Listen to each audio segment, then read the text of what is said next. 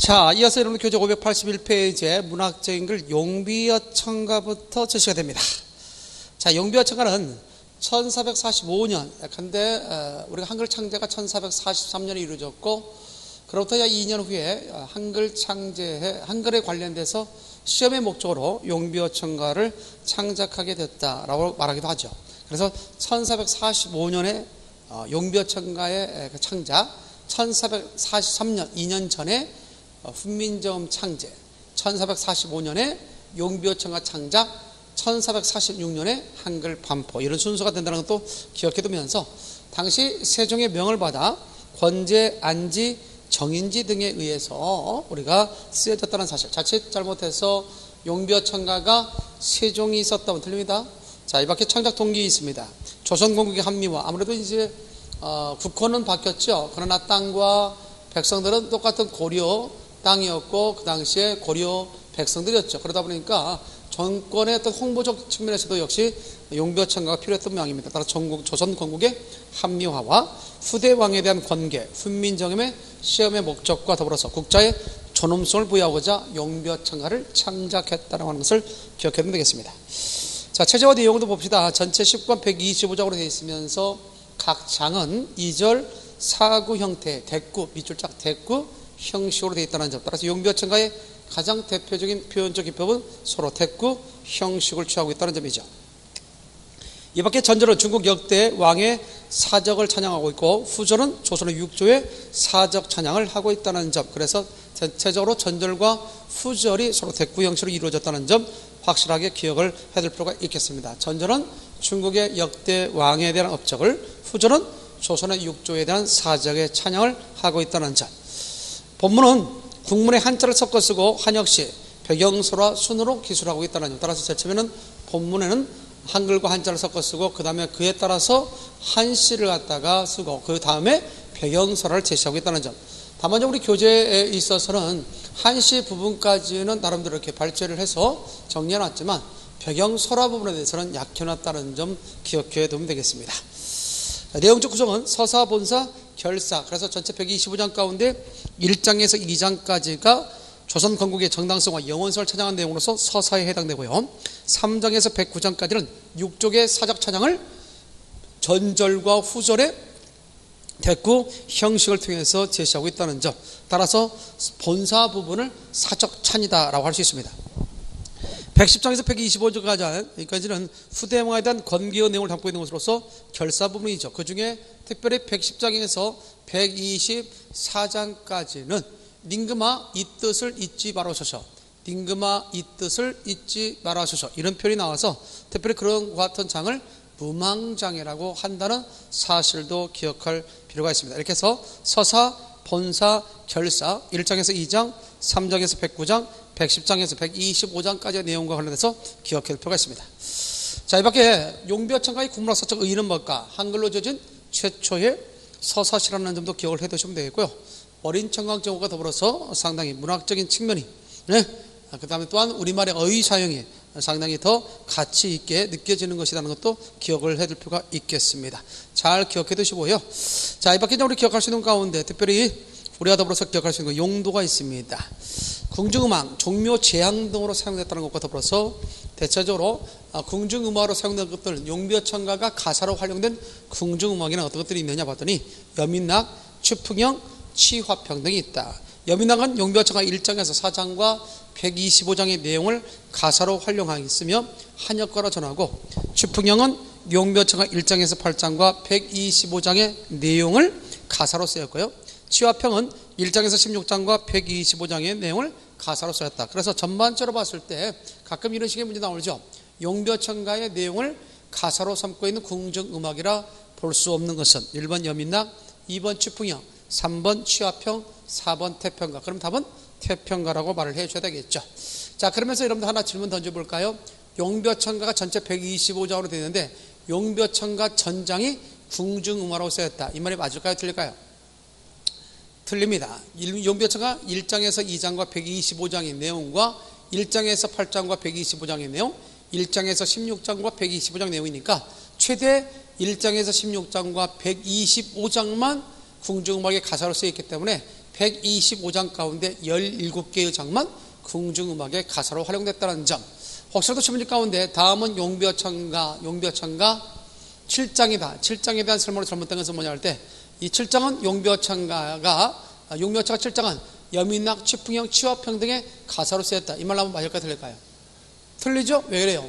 여민낙에는 사용되지 않았죠. 여민낙은 1장에서 2장과 125장의 내용만 가사로 활용하고 있죠. 따라서 이것을 좀 더 쉽게 외우는 방식은 없을까 했을 때 다음 같이 우리가 생각할 수 있겠죠.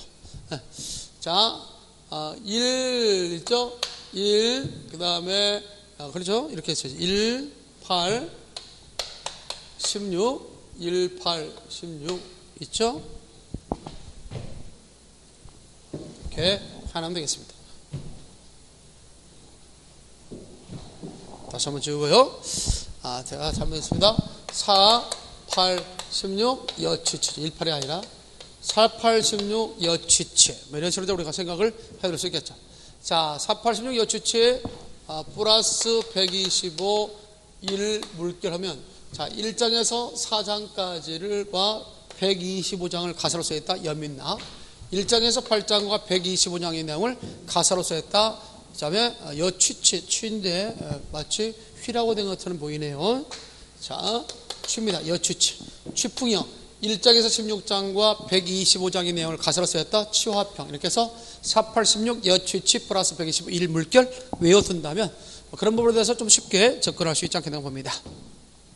자, 이 밖에 용비어창가는 15세 당시, 당시에 한글 시험 목적으로 만들어졌기 때문에 용비어창가는 15세 당시에 표기상의 특징을 가장 잘 보여주는 문헌이다라고 얘기할 수 있죠. 그래서 문자에 있어서도 역시 세종대학에서 만든 28자 이외에도 비읍승경음이랄지 쌍이응, 그 다음에 이런 것들도 사용됐다는 것과 더불어서 어두에 자음구를 쓸 수 있었다는 점. 이 밖에 받침 규칙에 있어서도 정성부용 초성. 정성은 초성을 갖다 다시 썼다는 점이죠. 그래서 조성부용 초성과 관련해서 썼던 것이었고 이 밖에 사이소리로서는 기역되고 비읍 여린이엇 반침 등이 사용됐다는 것과 방점이 사용됐다. 방점은 임진왜란 전까지는 사용됐고 임진왜란 이후에는 사용되지 않았기 때문에 임진왜란 훨씬 이전에 썼던 결국 용묘천가에는 방점이 사용됐다는 점. 방점이라는 게 뭐냐면 방점이라는 것은 방점이라는 것은 다른 말로 사성법이라고 이렇게 얘기하는데 방점 또는 뭐라고 나왔지? 사성법이라고 얘기하죠. 그래서 대체적으로 중국의 그런 의문의 성질을 영향받아서 우리나라도 소리를 사성으로 나눴습니다. 처음부터 이렇게 낮게 내는 소리, 처음부터 낮게 내는 소리를 평성이라고 했고, 처음은 낮았다가 끝을 올리는 소리를 상성이라고 했어요. 그 다음에 처음부터 높게 내는 소리를 거성이라고 했고 끝단난 소리를 뭐라고 했다 했지? 입성이라고 했다. 이렇게 해서 순서적으로 변형이 되겠어요. 평성이다. 그 다음에 상성이다. 그 다음에 거성이다. 그 다음 뭐가 있다 시작? 입성이 있다. 이렇게 해서 평성, 상성, 거성, 입성이 있다는 것. 따라서 방점과 관련돼서 사성법에 대한 이야기도 좀 기억을 필요하겠다. 이때 평성은 왼쪽에 점을 찍지 않았고 상성은 왼쪽에 점 두 개를 찍었으며 거성은 왼쪽에 점 하나를 찍었습니다. 자, 입성 같은 경우도 세 가지가 있었죠. 대표적으로 있는 것이 평성적 입성. 평성적 입성이 있다든가, 그 다음에 상성적 입성이 있다든가. 상성적 입성, 그 다음에 세 번째가 거성적 입성이 있다든가. 이렇게 해서 그게 세 가지가 있는데, 이런 평성적 입성, 상성적 입성, 거성적 입성 역시 점 찍기는 매 한 가지였습니다. 그런데 평성적 입성은 점을 찍지 않았고 상성적 입성은 점 두 개를 찍었고 거성적 입성은 점 하나를 찍었다는 점도 알아두라. 특히 우리가 기억할 수 있는 평성이나 평성이나 그 다음에 상성, 평성이나 상성, 거성 이렇게 평성, 상성, 거성은 뭐에 따라서 한 것입니까? 이것은 몸에 의해서 구분됩니다. 몸에 의해서 구분되고 우리가 일반적으로 볼 때는 입성이라고 하는 것은 받침, 받침에 의해서 받침 자음이죠. 받침 자음에 의해서 구분됐다. 그러므로 혹시라도 시문제 가운데 평성, 상성, 거성, 입성은 모두 몸에 의해서 구분된다면 틀려요? 평성, 상성, 거성은 몸에 의해서 구분되고 입성은 받침, 자음. 근데 뭐 기억으로 끝나나 비읍티것이나 비읍이다 이런 뭐 지읒이다 이런 받침으로 끝나면 대체적으로 다 입성이 됐다. 따라서 평성이란 단어가 이런 받침으로 끝나면 평성적 입성, 상성이라는 단어가 이런 받침을 끝나면 상성적 입성, 거성적인 입성이라는 것은 거성, 저, 거성이 이런 받침을 끝나면 거성적 입성이 된다. 이렇게 생각할 수 있겠죠. 따라서 혹시라도 심리 가운데 평성은 점을 찍지 않고 상성은 점 두 개를 찍었고 거성은 점 하나를 찍었는데 오늘날 현대 국어에서는 소리의 높낮이를 통해서 단어의 뜻을 변별하는 것이 아니라 소리의 무엇을 통해서 이루어진다고 했죠? 길이를 통해서 장단을 통해서 그래서 오늘날 현대 국어에서 길게 내는 소리 오늘날 현대 국어에서 길게 내는 소리는 상성과 관련되어 있고 대체적으로 거성과 입성은 오늘날 현대 국어에서 짧은 소리 짧은 소리라는 사실도 역시 기억할 수 있겠다. 혹시라도 심리 가운데 현대 국어에 있어서의 상성에 해당되는 단어를 찾아라. 상성의 흔적으로 볼 수 있는 단어를 찾아라 하면 길게 내는 소리를 찾는 거라는 것도 기억해 두면 되겠습니다. 자, 그렇다면 주요 작품들 한번 내용을 보도록 할까요? 자, 582페이지 보니까 우리가 소위 해동장이라는 용병체가 제 1장이 있습니다. 여기서 해동이라는 것은 우리나라를 가리키는데요. 우리나라를 가리키는 말로서는 이거 외에도 여러분들 교재도 있죠. 거기에 청구, 대동, 동방, 좌회, 진단, 근역, 저벽, 어, 무궁화 지역이다 해서 근역이다. 또 가점이 형상을 담았다 해서 저벽이다라고 말하기도 하죠. 그런 점에서 가끔 시험력 가운데 해동에 밑줄 치놓고 해동과 바꿔 쓸 수 있는 말이 아닌 것은 그랬을 때 1번 대동, 2번 뭐 대동 여지도 있지 않습니까? 그다음에 동방, 그 다음에 3번 좌해, 4번 극동이라고 한다면 극동이라는 것은 뭐 우리나라만 가르치는 말이 아니기 때문에 결국 어, 결국 답은 극동이 되겠죠. 따라서 혹시라도 알아두기 바랍니다. 해동과 바꿔 쓸 수 있는 말과 관련해서는 청구, 대동, 동방, 좌해, 진단, 근역, 저벽 등이 있다는 것. 자, 육룡이 나라샤 뭐 얼마 전에도 역시 드라마에 육룡이 나라샤 결국 드라마가 있었죠. 그때 육룡이 할때 육룡은 세종의 위대 선조를 가리키는 것으로서 가끔 그 육룡과 관련된 것이 아닌 것은 뭐냐 이렇게 나올 수 있겠죠. 그럴 때 육룡, 육룡은 세종의 위대 선조로서 목조, 익조, 도조, 환조, 태조, 태종을 가리킨다는 것도 기억을 좀 해야 됩니다. 어, 정작 세종 자신도 들어가지 않고요. 또 어, 소설의 2대 임금이었던 정종도 들어가지 않는다. 자기의 직계와 관련된 내용만 들어간다는 사실도 기억해 두기 바랍니다. 따라서 육룡에 속하지 않는 것은 뭐냐 그랬을 때 태조, 태종 또는 목조, 세종 답은 세종이다.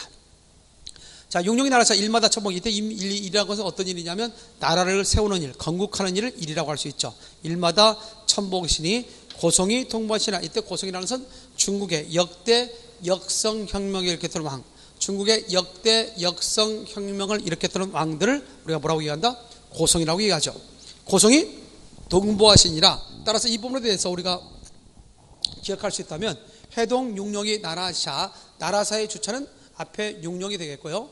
천복이다, 주차는 일마다가 되겠죠. 따라서 일마다 천복이다. 자, 일마다 천복이다. 일마다 천복이신이 나왔고 또 일마다 뭐라고 나오냐? 고성이 통보하시니라. 고성이 통보하시다. 자, 이렇게 나왔을 때 이 글의 전체 주어가 뭐냐? 시험 문제 출제되면 일마다라고 해석해봐요. 일마. 이 일마다가 이 글의 전체 주어다. 자칫 잘못해서 전체 주어가 육룡이라고 안 됩니다. 전체 주어는 일마다고. 이때 일마다는 어떤 일이냐? 건국하는 일, 나라를 세우는 일, 건국하는 일이 바로 일마다가 된다는 점도 알아두시라. 따라서 일마다 천복이었고요. 일마다 고성이 동무하시냐. 이때 고성은 중국의 역대 역성혁명을 일으켰던 왕들이니까 이때의 이라고 하는 것은 문법적으로 부사 비격격 조사라는 거. 문법적으로 부사 비격격 조사. 그래서 가끔 시험 문제 여기다 밑줄 치는 거 이것과 아, 쓰임이 같은 조사를 찾아라 그러면 부사 비교격 조사를 찾는다는 점. 따라서 용비어천가 아, 제 1장은 보통 우리가 악정이라고 하는 것. 용비어천가는 전절은 중국의 고사를 후절은 아, 우리 육룡의 이야기를 담고 있다고 했죠. 그래서 서로 대구 형식으로 되어 있는데 용비어천가 1장만큼은 이러한 형식의 패턴에서 벗어나 있다. 따라서 1절 3구 형태로 되어 있는 소위 파격적이라는 사실도 알고 있으면서 전반적으로 용비어청과 제1장 같은 경우는 조선 건국의 정당성을 각각 아, 결국 천복과 더불어서 중국의 역대 역성혁명을 일으켰던 왕들의 업적과 비교해서 설명하고 있다는 것도 알고 있으면 되겠습니다. 자, 용묘청 2장입니다. 용묘청 2장은 지금까지 내려오는 용묘청 125장 가운데 대체로 125장의 본문 내용들은 주로 한글과 한자가 섞어서 있는 모습을 볼 수 있는데 용묘천가 이정만큼은 한자를 사용하지 않았다는 점 그리고 중국의 고사를 인용하지 않았다는 점 그리고 순수 우리말을 사용했다는 점 비유적 용법이 뛰어나다는 점 이런 점을 들어서 용묘천가 125장 가운데 가장 백미의 장이라고 볼 수 있는 것이 용묘천가 제몇 장이다? 2장이다 자 그런 점에서 본다면 불이 깊은 남과 바람이 아니밀세 곧격고 여러 만하니 잘 기억할 필요가 있겠죠. 따라서 이 부분에 대해서는 좀 더 우리가 설명을 좀 적극적으로 하기 위해서 또한 시험에 잘 나왔고 특히 2016년도 해마다 교수들이 사자성어를 뽑는데 올해는 어, 사자성어를 뽑지 않고 용교천 같이 2장에 있는 내용을 들어서 어, 올한해 삶의 지표로 삼았죠. 그 중에 대표인 것이 뭐냐면 결국 있죠. 곧겼고 여름 하나니를 삼았죠. 자, 그렇다면 어떤 의미를 갖고 있을까 한번 볼 필요가 있겠고 앞으로 시험에 나올 가능성이 있지 않느냐. 자, 그랬을 때 좀 더 내밀하게 보기 위해서 칠판의 판서를 통해서 불이 깊은 남간 바람에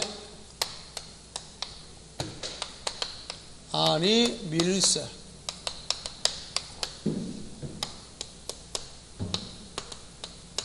곧겼고 여름 하나니를 들고 있다는 거죠. 불이 깊은 남과 바람이 아니면서 곧겼고 여름 하나니. 이어서 우리가 기억할 수 있는 것이 샘이 깊은 물은 샘이 깊은 물은 가말에 안이 그칠세. 가말에 안이 그칠세.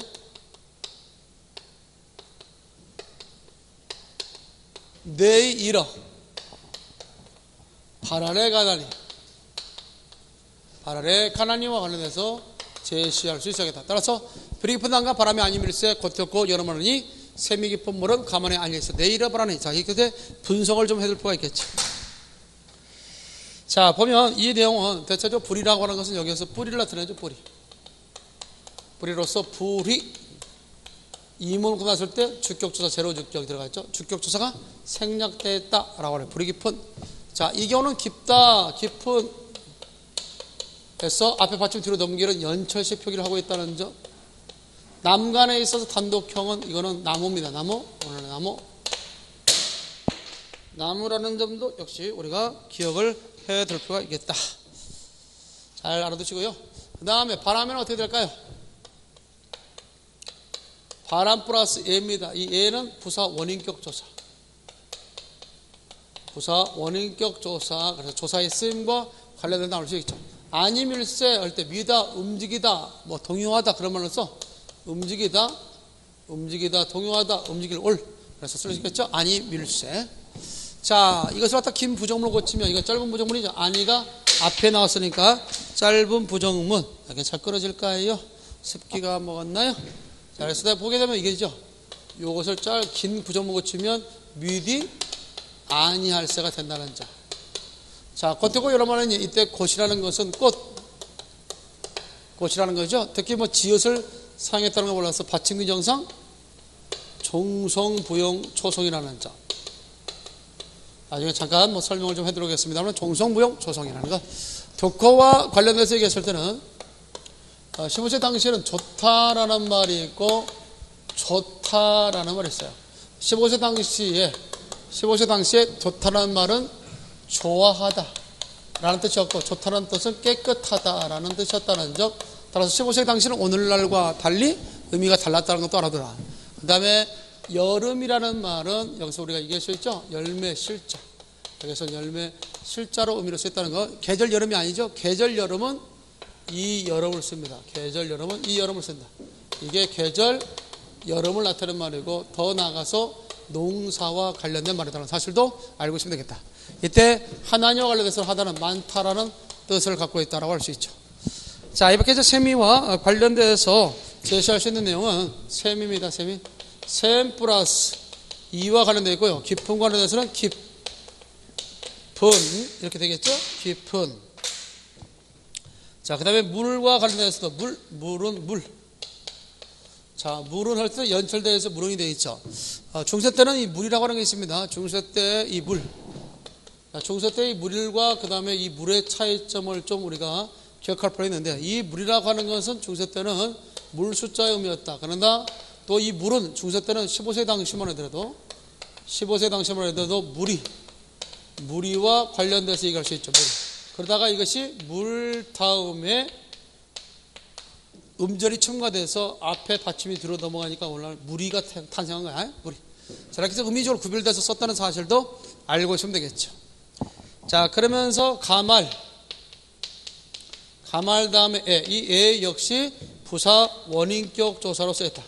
부사 원인격 조사로 쓰였다는 사실을 알 수 있겠죠. 그래서 가말이라는 말이 있죠. 자, 이 가뭄이란 말도 있고 가물이란 말도 있는데 오늘날 복수 표준으로 인정되죠. 그래서 가뭄도 맞고 가물도 맞다라는 걸 기억해 두겠습니다. 이 밖에 아니 그칠세 아니 그칠세 자, 이 부분도 역시 우리가 이해될 수 있죠? 이것을 우리가 보면 긴 부정문으로 고치면 이런 식으로 되겠죠. 그띠 아니할세. 그띠 아니할세. 내 이러 내가 이러 이때 이러의 기본형은 이루다. 어, 기본형은 일, 아니, 이루다가 아니라 일다. 일다로서 한자로서 이룰 성자의 의미로. 그래서 내가 이루어서 내를 이루어서 이렇게 여기서 해석상으로 얘기한다면 내가 이루어서 내를 이루어서 그렇게 되겠죠? 내를 이루어서 내를 이루어서 어디로 간다? 발알에 간다 발알 플러스 예. 자, 또는 바달 플러스 예는 두 가지로 해석됩니다. 예로 해석되기도 하고 로로 해석되는데 이때 발알이라고 하는 거 있죠. 발알. 발알은 나중에 바달이 됐다가 바달이 됐다가 오늘날 바다가 돼버렸죠. 자, 그래서 이때 예로 만약에 해석한다 그러면 부사 부사 처석격 조사로 이해된 거죠. 부사 처석격 조사로 이해된 것이고 바다로 하면 부사 향진격 조사. 부사 향진격 조사로 이해된다. 부사 향진격 조사로 이해된다는 사실. 이런 점에서 어, 바다 예레니 바다 론이라는 부분에 대해서 우리가 기억할 수 있겠다. 그래서 부사 처석격 조사, 부사 향진격 조사와 관련되어 있다라고 이해할 수 있죠. 정리됐습니까? 예, 그런 부분에 대해서 확실하게 좀 알을 필요가 있겠다. 자, 그래서 이렇게 이제 우리가 직역하면 이렇게 되는데 이것을 의역하면 어떤 내용을 담고 있느냐? 뿌리가 깊은 나무는 바람 때문에 아니 흔들릴세라는 뜻은 기초가 튼튼한 나라는 바람이라는 것은 내우 외환입니다. 내우 외환 때문에 흔들림이 없으니까 결국 곧겹고 여름하다는 이때 곧과 여름은 문화죠. 그래서 올해는 우리나라가 어떤 문명에 의한 물질 문명에 의한 그런 어떤 경도적인 그런 지향적인 삶을 우리가 지향하고 문화를 발달시키는 문화 중심의 나라가 됐으면 좋겠다는 소망에 의해서 곧겹고 여름하냐를 선정하지 않겠는가. 그래서 고치란 여름은 여기서 문화를 뜻하죠. 문화가 결국 아주 발전하게 된다는 얘기고 세미 깊은 물이라고 하는 것은 유서가 깊은 나라, 역사가 오래된 나라는 가말에 내우 여한 때문에 흔들림이 없으니까 내가 이루어져서 바다로 간다라는 것은 바다는 여기서 무슨 의미를 갖느냐라고 한다면 바다라는 것은 영원성이라는 의미를 갖는다. 무슨 성 다 같이 영원성 이런 것들도 우리가 좀 알고 있으면 되지 않겠는가? 영원성. 그래서 어, 결국 샘에서 흐른 물이 뭘 이루고요? 그렇죠. 뇌를 갖다가 이루게 되고 뇌는 또 뭘 이룹니까? 바다를 이룬 거죠. 점점점 어떻게 해요? 커지죠. 그래서 이런 이미지를 뭐라고 그러냐? 대체적으로 확장적 이미지. 이런 확장적 이미지를 통해서 조선 왕조의 확장적 이미지를 통해서 조선 왕조의 무엇을 노래하고 있다? 영원성을 노래하고 있다. 이렇게 알아둬야 됩니다. 그래서 확장적 이미지를 통해서 조선 왕조의 영원성을 노래하고 있다. 따라서 용묘차 제 2장 같은 경우 오늘 잘 알고 있는 용묘차 125장 가운데 가장 백미장이라는 것들 기억해 두면서 순수 국어 사용됐다. 비유적 용법 사용했다. 안 했다? 했다. 이런 측면도 우리가 반좀 나옵니다. 내용적 이해 좀 해두면 되겠고. 특별히 어, 불이 깊은 난과 바람이 아님일세. 그러니까 기초가 튼튼한 나라는 바람 때문에 흔들리지 않으니까 곧겹고 여름한다는 말은 문화가 창성한다. 앞과 뒤의 관계가 무슨 관계? 원인과 결과의 관계. 그래서 종속적으로 이어진 문장 형태를 갖고 있다라고 하는 거. 혹시라도 곧겹고 여름한다. 뭐 할 때 불이가 깊은 난간이 바람에 아니 민다면 그래서 앞에가 어떤 조건이 되고 그러다 뒤에가 하나의 그 소위 결과가 되겠죠. 그런 점에서 본다면 종속적으로 이어진 형태를 갖고 있다는 것도 알고 있으면 되겠습니다. 복사도 심리 가운데 제 용벽차가 2장이 주어진 상태에서 그 용벽차의 2장과 문형이 가닥을 짜자라 그러면 종속적으로 이어진 문장을 찾으면 된다. 자, 그 다음에 하나 더 온다면 또 시험에 잘 나왔던 내용이 있죠. 어, 특별히 거기에 어, 67장도 알아둔다면 67장 같은 경우는 가람까지 장을 밀물이 사료되 나가냐 참마이다 서만의 자실제 한비 사료되 비어자 참마이다 가끔 그 관련된 고사를 묻기도 하는데 전절은 전절은 어, 과거에 있어서 어, 원나라 때 배간이라는 사람이 있었는데 배간이 송나라와 싸울 때에 몇 가지 숫자, 숫자적으로 좀 수세에 몰렸던 모양입니다. 그러다 전당강가에 아, 대체적으로 배수를 치게 되죠. 그리고 죽기를 각오 싸워야 되겠다 했는데 아, 결국 원나라, 송나라 군사들은 그를 공격하지 않았어요.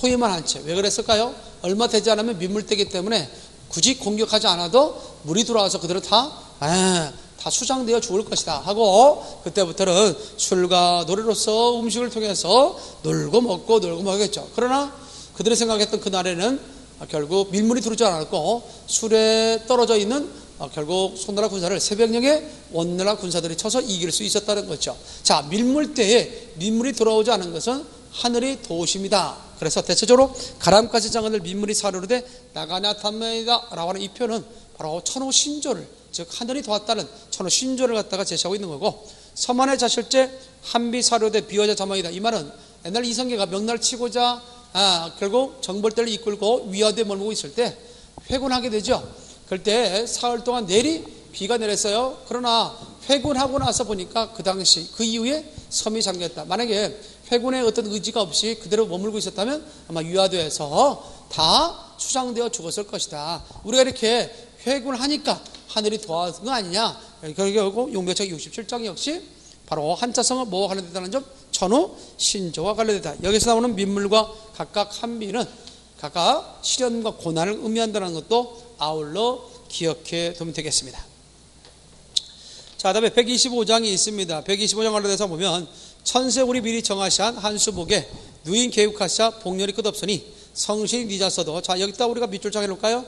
자 미리 정하샤 정하샤의 밑줄짝 그 다음에 누인 계곡사의 누인 계곡하샤 밑줄짝 복년이 끝없으니 성신이 니자사도 경천 근민하사자 밑줄짝 더욱 구두시리다 구두시리다의 밑줄짝 닝금아 아라쇼쇼 아라쇼자 밑줄짝 낙수의 산안가 있어 하나님을 믿으니까 믿으니까의 밑줄짝 가깝시 보니까 용묘천과 125장이 주어진 상태에서 각각 밑줄친 것에 주체를 묻는 문제가 나올 수 있거든요 그럴 때 정하사 주체는 이때 누구냐 하면 아, 결국 하늘입니다. 하늘. 하늘이 정한 바. 한수북. 한수북이라는 것은 한양을 말합니다. 한양, 한양에 누인 계곡. 어진 인을 쌓아서 나라를 열었단 말로 누인 계곡의 주체는 육룡이죠. 육룡. 육룡이. 복년이 끝없으니 성신이 니자사도 경천근민하사. 경천근민은 누구냐? 하늘을 공유하고 힘써 백성을 다스린다는 것이 경천근민. 그렇다면 경천근민의 주체는 후대 왕들이겠죠. 이 경천금인이 바로 용매처 125장 가운데 가장 대표적인 중심 단어가 됩니다. 더 굳으시리다. 굳으시다. 뭐가 더 굳다? 왕조가 더 굳으시리라. 닌가마 아라소셔. 이때 아라소서는 후대왕들이여 명심하소서. 따라서 아라소서의 주체는 후대왕들. 낙수의 사난가이시여. 하나님을 믿으니까 이것은 뭔 내용이냐면 중국의 하나라 때에 태강왕이라는 사람이 있었어요. 중국 하나라 때에 태광왕이 있었다. 태강왕이 있었습니다.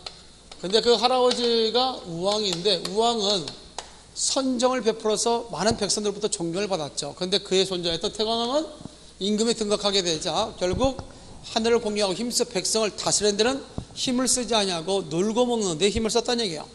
자, 그러나 그의 할아버지 우왕을 봐서라도 몇 번이고 일반 백성들은 그 태광을 용서해 줬습니다. 그런데 그런데 어느 날은 산행, 산행이라면 여기서 사냥입니다. 사냥이라는 어, 우리말의 한자를 갖다 음치해서 표기한 거예요. 이때 산행은 산으로 가는 것이 아니라 사냥의 의미다. 사냥에 가서 어, 결국 오래도록 돌아오지 않아요. 더 이상 도탄지고에 빠져 있는 백성들로서는 이런 임금을 우리가 모시고 살다가는 우리가 굶어 죽겠다 해서 이 태광왕을 폐위시키게 됩니다.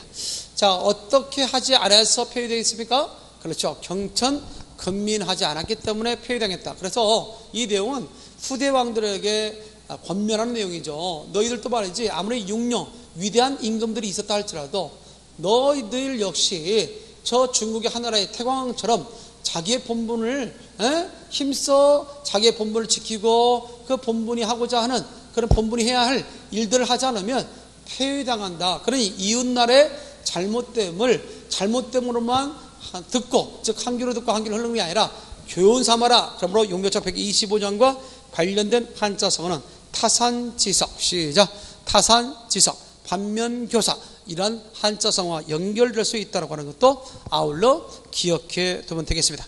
자, 이렇게 해서 용묘책 125장 역시 앞서 얘기했던 용묘책 1장처럼 전반적으로 봤을 때 용묘창가는 전절과 후절 해서 2절 사구 형태로 되는 것이 일반적인데 용묘창가 125장만큼은 또한 3절 구구 형태로 되어 있어서 합격장 그래서 오늘 전하고 있는 용묘창가 전체 125장 가운데 합격의 형태를 취하고 있는 것은 1장과 125장이다 정도는 머릿속에 넣어두기 바랍니다. 자, 여기까지가 이제 용묘청가에 대한 내용이었다면 두시 언해.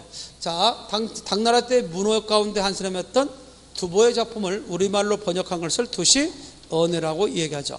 이 두시 언해는 어, 대체적으로 어, 똑같은 작품을 시대가 다르게 두 번 번역했죠. 근데 그래서 임진왜란 전에 번역된 거 1481년에 번역된 초간본과 1632년에 번역됐던 중간본이 있습니다. 여러분 교재 587페이지 잠깐 볼까요? 거기 보니까 초간본은 1481년, 중간본은 1632년이 있다. 아무래도 그 중간에 임진왜란이 있다 보니까 임진왜란을 개점으로 해서 상당 부분 국어적인 그런 어떤 변화가 상당히 많이 되는데 그 중에 한번 초간본과 중간본에 대한 표기상의 특징을 비교하는 문제가 나올 수 있으니까요. 그 부분에 대해서 관심을 좀 가질 필요가 있겠죠. 자, 초간본 같은 경우는 방점이 사용됐다. 임진왜란 전까지는 방점이 사용됐고 임진왜란 이후에는 방점이 사용되지 않았기 때문에 충분히 이해될 수 있을 것 같고요. 철자법에서는 초간본은 연철, 이어적기를 했다면 중간본은 체험과 조사, 어감과 어미를 나누어 적는, 즉 밝혀 적는 분철, 간혹 분철을 했다는 점. 이 밖에 반침과 엔령, 우리가 훈민점 제자 원리에서 배운 적이 있습니다만은 세종대학교에서 만든 28적 가운데 오늘날 현대국어에서 사용되지 않는 것은 10원을 가지고 산에 가서 사과 사모니까 심한 남았다 되죠. 따라서 열의적 같은 경우는 15세기 때 반침 같은 경우는 임난 직전에 N년 같은 경우는 임난 직후에 임난 직후에 그 다음에 아래아는 1133년에 없어졌죠. 따라서 소실문자의 순서에 대해서 기본적인 이해가 있어야 되겠죠. 10원을 가지고 산에 가서 사과가 사모니까 씨만 남았다 정도는 기본적으로 이해를 두겠고 더불어서 이와 같이 뭐 구개마가 없었지만 중간문에서 구개마가 간혹 나타났다는 점과 더불어서 자음동화 즉 모음조화가 초간문에서 대체로 지켜졌지만 중간문은 지켜지지 않았다는 것. 이렇게 해서 가끔은 시험 문제 초간본과 중간본을 비교하는 유형의 문제 나올 수 있으니까요. 그래서 반침이 있어 있거나 N형이 있었다, 연철이 있어 있으면 초간본, 반침이나 N형이 사용되지 않았다 그러면 중간본 이렇게 알아둬도 충분히 구별할 수 있을 걸로 봅니다. 자 그렇다면 많은 작품들이 있었을 텐데 왜 하필 두보의 작품을 번역했겠는가? 두보의 작품을 번역한 동기가 있습니다. 유교 사상을 배경으로 우국적 정서를 노래한 것이어서 당시 조선의 통치 이념이 유교였죠. 따라서 그런 유교적 이념을 바탕으로 한 조선의 통치 이념에 부합되는 점이 있기 때문에 이러한 두보의 작품을 번역하게 됐다라고 하는 것. 자, 그러면 두보의 작품을 번역한 두 시연의 문학적 가치는 뭘까? 그는 우리나라 최초의 번역 시집이라는 것. 이 밖에 어학적 연구에 상당히 귀중한 가치가 된다는 점. 왜 그래요? 초간문과 중간문이 같은 똑같은 작품을 시대가 다르게 결국 번역하다 보니까 우리 국어의 표기상의 변천사를 연구하는데 상당히 소중한 자료가 됐다는 겁니다. 따라서 두보의 작품을 번역한 도시 언해 우리나라 최초의 번역 시집이라는 것도 이해해 둘 필요가 있습니다. 그 중에 뭐니 뭐든 시험 문제 가장 잘 나왔던 것 중에 그 강촌이라는 작품과 관련돼서 나왔는데 이 강촌이라는 작품은 강촌의 한가로운 풍경을 갖다가 제시하면서 특별히 강촌의 한가로운 풍경과 더불어서 어, 결국 이것에 있어서 어떤 시선의 이동과 더불어서 앞에 부분은 어, 집 밖에 그런 상황에 대해서 그리고 있고요. 뒤에 늙은 겨접부터 시작해서 점은 아달부터 이렇게 시작하는 늙은 겨접. 후반부는 대체적으로 어, 내부 상황, 가족 상황을 갖다 얘기하고 있죠. 자, 외부 상황이나 내부 상황이나 전부 전반적인 내용은 한가로운 풍경이죠. 그러다 보니까 시적 화제는 더 이상 욕심이 없죠.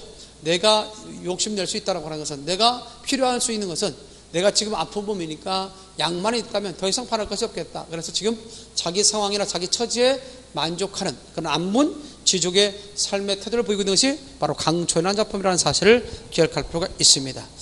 때에 따라서 이렇게 이렇게 순수하게 이 작품을 이해할 수도 있겠지만 또 때에 따라서는 인간들의 투쟁적인 어떤 자연에 대비되는 인간의 투쟁적인 어떤 삶, 욕심 있는 삶 이런 삶을 빗대서 풍자하고 있다라고 보는 견해도 있습니다. 예컨대 늙은 겨집은 조회를 그려 장기판을 맹간다라는 말은 늙은 겨집이 장기판, 장기판은 각각 초나라와 한나라 가서 싸우는 거 아니겠습니까? 그런 점에서 본다면 이런 장기판이라는 것은 인간들의 투쟁적인 삶을 비유했다라고 보기도 하고요. 또한 젊은 아들, 이때 젊다는 말은 여기서는 어리다 뜻입니다. 어린 아들이 바늘을 두드려 고기 낚갈 낙사를 만든다는 것은 원래 낚시 바늘이라고 하는 아니 그 바늘이라고 하는 것은 원래 어, 집안에 있어서 바느질을 할 때 필요한 도구 아니겠어요?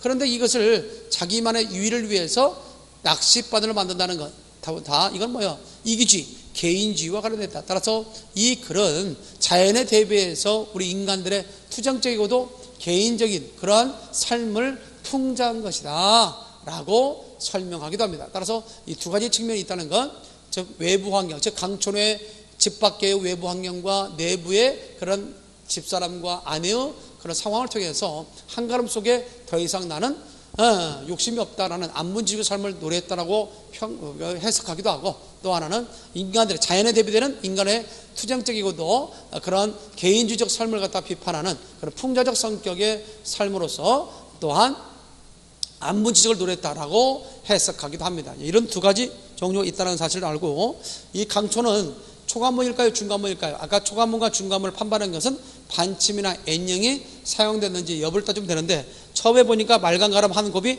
마잘 때 마잘 때 반침이 있는 걸로 봐서 이것은 초관보이라는 사실을 알 수 있습니다. 하나만 더 한다면 586페이지에 절구편이 있습니다. 이 작품은 전해오는 내려온 전해오는 과정에서 제목을 잃은 작품. 그래서 원래 한시 형태로서 우원 절구였기 때문에 아, 결국 한시 형태를 붙여서 절구라고 했습니다. 가람이 파란이 새가 더욱 해올 때 해오의 밑줄짝 가끔 그 부분이 시험 문제 출제되기도 하겠죠. 해오 이 부분 기억을 좀 잘 해둬야 됩니다.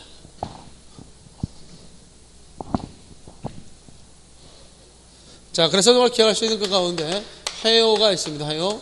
자, 이 말은 결국 강이 파라니까 더욱 하얗다 할때 파라타와 하얗다를 통해서 색감의 대조를 보이고 있다는 점.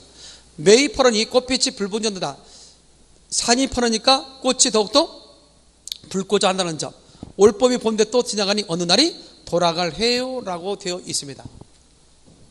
자, 먼저 봤을 때 이제 우리 두보라고 하는 사람은 결국 과거 시험에 여러 번 납방, 납방되다 보니까 마지막 시험이라고 생각했던 시험 마저 떨어지니 집으로 들어갈 그러한 형편이 못 됐어요. 그래서 평생을 방랑신으로 보냈던 사람이 두보다. 그러다 보니까 자연스럽게 그의 작품의 면면에는 고향에 대한 그리움, 처자식에 대한 그림이 있는데 이 작품 역시 아마 고향에 돌아가고 싶은 마음이 있었던 모양이죠. 따라서 봄이 되면 고향에 돌아가리라 생각했지만 정작 봄이 왔는데 돌아갈 수 없는 처지죠. 그러다 보니까 고향에 대한 간절한 그림, 수구 초심의 내용을 담고 있는 것이 바로 이 절구표이다.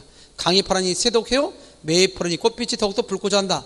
자, 결국 봄이 온 풍경을 이야기하고 있죠. 그런데 이 봄이 지금 또 지나가고 있습니다. 그렇다면 나는 어느 날 돌아갈 것인가? 저마저 봤을 때 이 내용을 통해서 볼 때 이 작품은 원래 제목이 있었으나 제목을 잃어서 한시 형태를 틀어서 절구라고 했는데 만약에 내용을 바탕으로 해서 이 작품의 제목을 주어진다면 이 작품은 또 다른 봄을 소망할 수 있는 내용이죠. 따라서 춘망 이 작품을 제목을 갖다가 정해준다면 춘망이라고 할 수 있을 것이다.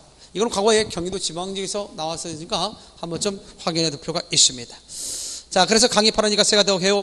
메이 파라니 꽃빛이 불붙는다. 따라서 앞에는 파라타와 하야타를 통해서 두 번째는 퍼러타와 북다를 통해서 서로 색감의 대조를 하고 있다는 점. 같은 대조법이 병치되어 있다는 점에서 나란히 세워졌다는 점에서 대구법, 각각 대조법과 대구법이라는 것들 사용됐다는 것도 알아두면 되겠고요. 올봄이 본데 또 지나가니 이때 또라는 말 속에 시적 화자의 정서는 상당히 안타까운 심정이 담겨져 있다는 점. 어느 날에 돌아갈 해요. 마지막에도 뭐가 있습니까? 또 해요가 있죠. 그래서 이 시 속에는 이 시 속에는 해요가 두 번 있습니다. 그러다 보니까 문법적으로 이것을 분석하는 유형의 문제가 시험에 출제되기도 하죠. 그래서 해오는 원래 해곤데 이때 해는 해다의 어간이죠. 해다의 어간. 오늘날로 말한다면 희다란 뜻이죠. 희다. 한자로 본다 흰 백자. 그리고 이때 고라고 하는 것은 대등적 연결어미. 대등적 연결어미로 사용됐다. 그래서 과거 중세 때는 이모 말에서 기억이 탈락된 거죠. 그 다음에 해와 관련돼서 우리가 생각할 수 있는 것은 뭐냐. 이때 해오는 해고에서 나왔는데 이때 해는 어디서 나왔냐? 해년자, 해년자로서의 품사가 명사입니다. 그리고 이때 고가 뭐냐면 의문조사. 고는 의문조사인데 이와 마찬가지로 이때 이모만에서 기억이 탈락돼서 의문 탈락된 거죠. 그래서 해요가 됐다는 점. 가끔 시험 문제 가운데 이것들에 대해 밑줄 쳐놓고 이것들에 대한 문법적 분석을 옳게 한 것은 뭐냐 나올 수도 있겠고 각각 품사를 물어볼 때 있는데 이거는 형용사고 이거는 해는 명사 이거는 그렇죠? 이오는 고해에서 나온 걸로서 의문조사 해입니까? 라고 해석한다는 점 이렇게 문법적으로 묻는 유형의 문제가 시험에 출제될 수 있다. 그래서 이제 앞에는 대체적으로 어, 상황을 주셨죠. 온 상황을 얘기하고 그로부터 느끼는 시적 과제 정서를 뒤에 놨다는 점에서 이런 작품들의 주된 시상의 전개 방식은 우리가 몇 번 아마 했죠. 성경 후정 방식 다 같이 시작. 성경 후정 방식 앞에 성을 제시하고 뒤에 그로부터 느끼는 정서를 뒤에 깔았다는 점에서 성경 후정 방식이라는 사실도 아울러 기억해 두기 바랍니다. 자 이런 것들이 이제 우리가 절구표를 통해서 제시할 수 있는 내용이 아닌가 이렇게 생각하고요. 자 그러면서 이제 마지막으로 하나 더 본다면 그래서 이제 587페이지에 보게 되면 가끔 이제 두보에 대해서 얘기했으니까 두보와 200을 비교하면 두보는 유교적 사실적, 예상적, 섬세, 갈고 다듬는 시를 주로 썼다면 이백은 상당히 즉흥적이면서 도교적이면서 낭망적인 호탕한 그런 시풍을 지녔던 사람이 누구였다? 이백. 그래서 이백 같은 사람을 신선노름하다 간 사람이다 해서 시선이라고 한 반면에 두 번은 유교에서 가장 표상되는 인물이 성인이죠. 그래서 시성 같은 인물이다. 시성으로 불린다. 두보, 시선이다. 이백. 그것도 또 한 번쯤 알고 있으면 되겠습니다. 자, 마지막 하나만 더 볼까요? 동명일기가 있습니다. 이 작품은 조선 영조 때 우이당 김씨가 함흥 판관으로 부임한 남편에게 그 주변 지역에 명승 고적이 있는데 그 명승 고적이 중에서 규경대에서 일출 광경을 갖다가 본 적이 있는데 그 일출 광경에 대해서 본 내용을 쓴 기행수필이 바로 보다 동명일기라고 볼 수 있습니다. 아무래도 여자가 썼기 때문에 그 밑에 표현상의 특징 알아두는 게 좋겠습니다. 여성적인 섬세한 필지가 잘 보이고 있고요. 순수한 우리말을 사용했다는 점. 그리고 직접 어, 눈으로 보고 목격한 바를 썼기 때문에 사실적 묘사라는 점, 또 시간적 구성 형태를 갖고 있다는 점, 이러한 점을 하나의 특징으로 잡아주시겠죠. 어, 중요 대목 588페이지의 내용 실어놨는데요. 홍색이 거룩하여 붉은 기운 하늘을 뛰노느니 이랑이 소리를 높여 나를 불러 저기 물밑을 보라 외치거늘 외건을 외치거늘 급히 눈을 들어 물밑 홍을 해왔고 큰 소리 같은 불긴 더욱 기하며 그 기운이 지능 같은 것이 차차 나 손바닥 너비 같은 것이 금은밤에 보는 숯불빛 같더라. 차차 나오더니 그 후로 적은 회오리바람 원간이면 해입니다.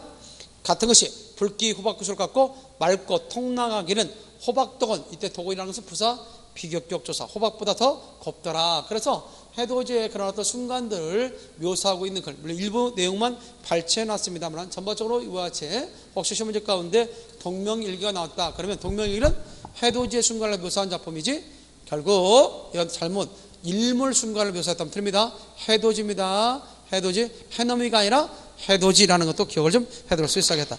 자 이런 내용들이 이제 우리가 생각해 둬야 할 내용이 아닌가라고 생각합니다 더러 이제 이와 같은 것들을 들어서 이제 문제가 제시되기도 하는데 여러분들 교재 보니까 590페이지에 앞서 얘기했던 세종에 있었어요. 훈민정음, 음? 세종의 어지라는 걸 통해서 주로 어휘가 시험에 잘 나오죠. 그래서 거기 590페이지 4번을 보게 되면 사마태는 통하다, 전차는 까닭이다, 어여비는 불쌍이다, 수비는 십견데 수매는 쓰매가 뜻이 아니라 사용함에 그래서 이것 같이 어휘적인 측면에서 신문제 출제되기도 하고 또한 591페이지에 10번에 수학 언어를 통해서 볼 때 A와 의미가 상통하는 속담, 거듭말 익은 자, 빚존, 개살고 같이 이렇게 연결된다든지 아니면 592페이지에 13번 그 같은 문제로서 아니면 12번 같은 문제 다음번에 나타난 덕목과 관련 있는 판속의 소설은 뭐냐 할 때 리본은 농안현 사람이 그 앞에 태방이 싸나운 벽 앞서 얘기했던 우리가 이보할지 이보할지는 효와 관련된 노래. 효와 관련된 판수록의 소설은 심청전. 답은 2번이겠죠.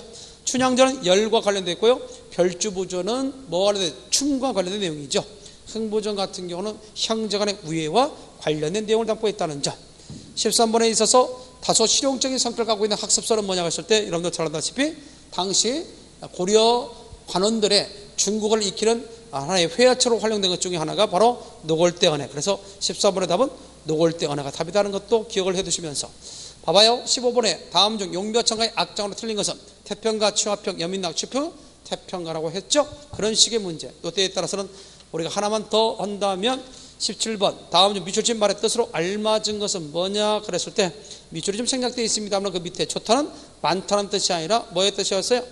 좋다는 에? 이때 좋고 거기에 좋고 있죠 미출자 거기다 하나 좋고 좋고라요 미출자 좋고는 좋다라는 뜻이라는 것이었죠 좋다 그 다음에 하다는 많다는 뜻이었죠 뭐 그런 점에서 17번에 답은 1번 거기 밑줄이 좀 생략되어 있는데 좋다와 하다에다가 밑줄자 해놓으시기 바랍니다 자, 하나만 더 해볼까요? 특별히 우리가 알고 있는 것 중에서 19번 같은 문제도 나올 수 있습니다. 용병가, 용병가가 67장은 유아도 해군 사건을 갖다 그리고 있는데, 유아도 해군 사건을 바탕으로 그리고 있는 작품이 또 다른 악장이 있습니다. 그 하루도 외워요. 정동 방곡이 있다는 것들 기억해 두면 되겠고, 특별히 여러분들 교재 595페이지에 23번 같은 문제면 초간부임을 알 수 있는 건 뭐냐? 그럴 때 우리가 초간부는 반침이나 N형이 사용된 것이 바로 초간부이라고 했으니까 그런 점에서 본다면 거기에 2번 같은 경우는 해당되지 않고 1번은 마잘 장기판 할때 이응 들어갔다는 것도 알고 있고 3번 같은 경우는 연철시 표기 연철시 표기로서 우리가 있는 거고 4번 같은 경우도 역시 반침이 들어가 있고 N형이 들었다는 점에서 초감을 알 수 있는데 2번에만 그런 상황을 살펴볼 수 없다는 점 그래서 답이 2번이다 라고 처리할 수 있다는 것이죠 자 그런 내용들 우리가 한번 좀 생각해 보면 되겠고요 하나만 마지막으로 한번 한다면 어, 다음 같은 얘기 시죠 27번 같은 문제 다음 글에 설상 특징과 거리가 먹는 서문이 할 때 동명일까지 했을 때 거기 답지 1번에 보니까 비현실적으로 묘사했다 아니라고 했죠. 비현실적인 묘사가 아니라 사실적 묘사라고 했지 않습니까? 직접 해돋이었던 상황을 보고 그린 것이라고 했죠. 이런 것들에 대한 내용적 이해 또 표현상의 특징을 묻는 문제가 더러 시험에 출제될 수 있다. 뭐 일일이 다 문제 풀어본 아니지만 배웠던 내용을 토대로 해서 몇 문제 확인차 풀어봤습니다.